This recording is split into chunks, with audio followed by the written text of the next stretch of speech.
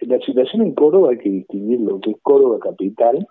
lo que es cura brochero y lo que es el resto de las circunscripciones judiciales.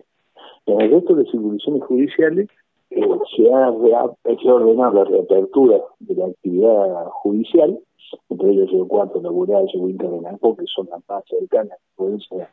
nuestro Villa María, se ha ordenado la reapertura en condiciones de presenciales y con la utilización de todos los recaudos sanitarios y la implementación del trabajo electrónico, del teletrabajo. En Córdoba, capital, y cura brochero, por distintas circunstancias, eh, Córdoba capital por el desarrollo de la enfermedad de COVID-19 y en Cura brochero porque el edificio en donde se realiza la función tribunal es un desastre, entonces tiene que inaugurar uno nuevo porque ahí no se puede trabajar porque eh, están todos apretados, un desastre. Eh, es más, yo tengo un caso en otro lado, eh, se me está complicando muchísimo la apertura por urgencia, porque uno puede pedir, en casos penales especialmente, eh, la, habilitación del receso sanitario eh, en materia de urgencia para tratar esta cuestión para nuestros precios sanitarios, reclamatorios, bueno, todas cuestiones relacionadas a derechos impostergables. Pero lo cierto es que en Córdoba la actividad ha cesado, Córdoba Capital, prácticamente, y que los jueces, el Poder Judicial, ha sido muy reacio a, rehabilitar electrónicamente o, de manera mm, efectiva la actividad jurisdiccional, lo que es general, porque un montón de gente no puede haber eh, resultados en los pleitos que tiene, que los abogados no pueden cobrar, que eh, haya mm, sucedido prácticamente un desastre. A esto tenemos que sumarle una tranquilidad, una pasividad de nuestro organismo de representación, como son los colegios de abogados y federaciones de abogados, y además eh, tenemos que sumarle la inactividad total de nuestro organismo previsional que eh, no ha tenido en cuenta que hay un montón de abogados que viven al día y no le han provisto ni siquiera un subsidio para que puedan sobrevivir en estos meses por lo menos en, las cuestiones alimentarias, no hablemos de lo que son las cargas de mantenimiento de cualquier estudio. Esto ha generado una gran disconformidad, ha sido el, sentido central de la marcha, que la justicia es un servicio esencial que no puede permanecer cerrado, que la actividad de los abogados es un servicio esencial porque protegen a la gente de los abusos en esta época de excepción, ¿no es cierto? Y además le permiten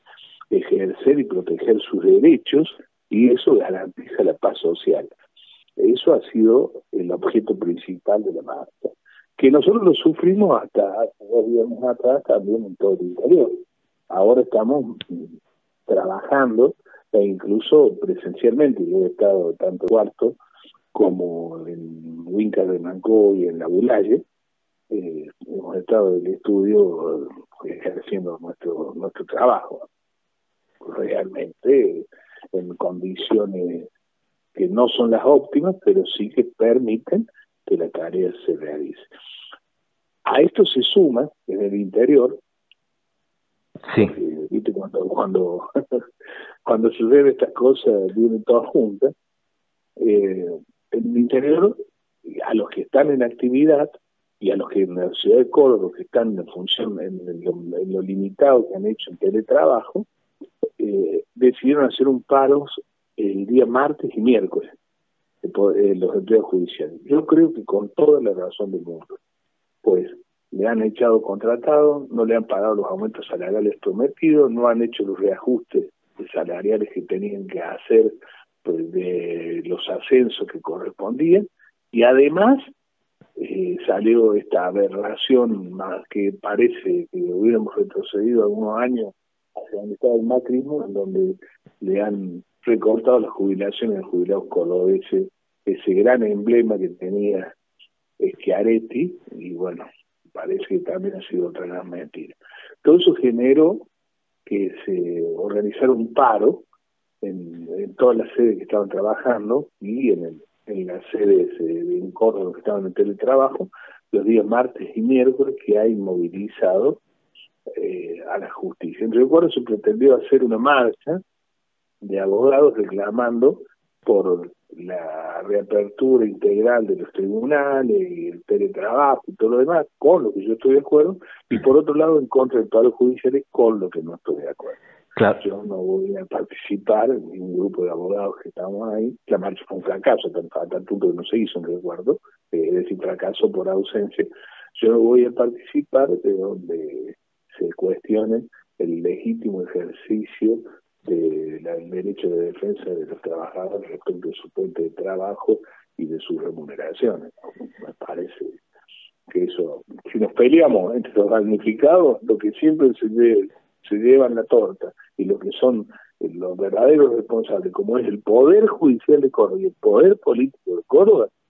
eh, estamos listos, no podemos pelear entre nosotros, debemos pelear contra ellos. Exactamente, Daniel. Eh, una pregunta, ¿está previsto alguna reunión, alguna otra medida de fuerza en lo que resta de esta semana o quizás la otra? Mira, yo participo además de un foro nacional de abogados penalistas, eh, de un foro provincial de abogados penalistas, de los abogados autoconvocados de la provincia de Córdoba y del grupo de abogados de Río Cuarto, en todas estas. Eh, en las distintas agrupaciones se están estudiando más gestiones para llevar adelante.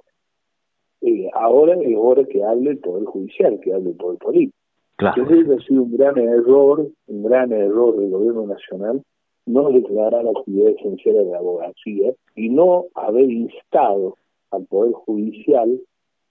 a que ejerza su autonomía y, y estableciera reglas de trabajo conforme la gran inversión, porque la plata que se destina a la justicia, que se da a la justicia es tremenda, tremenda. Y se ve que la inversión tecnológica no ha dado su fruto, o no está, o, sucederá como ha sucedido en tantas otras cosas, que no se ve porque eh, lo que se recauda no está donde tiene que estar,